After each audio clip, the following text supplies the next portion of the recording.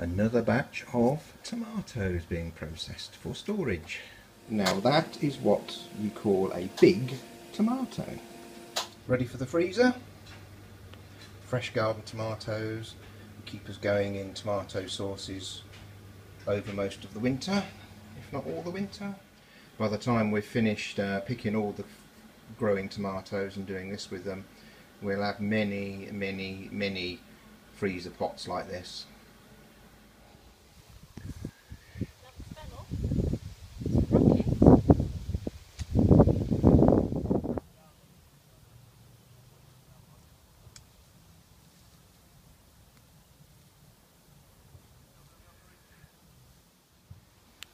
Well, the potatoes in plots 42 and 50 that we planted about a week ago are coming through already.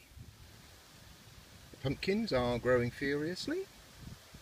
It's going to be a little bit hit and miss as to whether these pumpkins will grow because uh, we did plant them quite late. But, uh, you know, got two chances.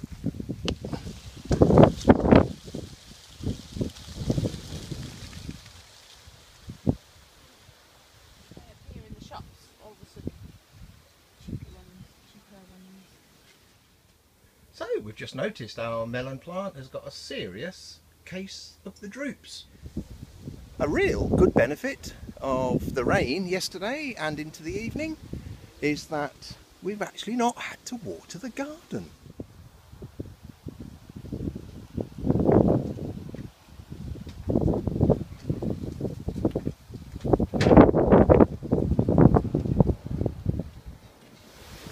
And the wind's picking up already.